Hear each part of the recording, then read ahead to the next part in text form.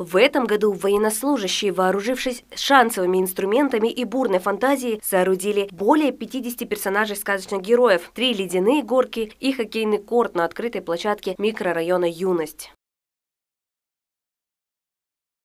мына бүгінгі ұйымдастырылып жатқан іс шара бәрімізге ұнады очень отрадно, что военнослужащие с каждым годом проявляют все больше энтузиазма и изобретательности, создавая нереально крутые мультипликационные фигуры, которые радуют детей, проживающих в этом районе.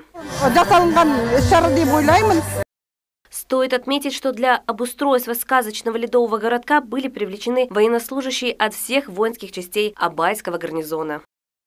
әскери қызметшілердің қолымен әр әскери бөлімнің руками военнослужащих изготовлено около 50 скульптур каждой воинской части различные сказочные персонажи три больших горки и каток в конкурсе снежных скульптур фигурка кролика заняла первое место это сделали военнослужащие воинской части 28 738 жеңіп алды бұны жасаған 28 738 әскери бөлімнің әскери қызметшілері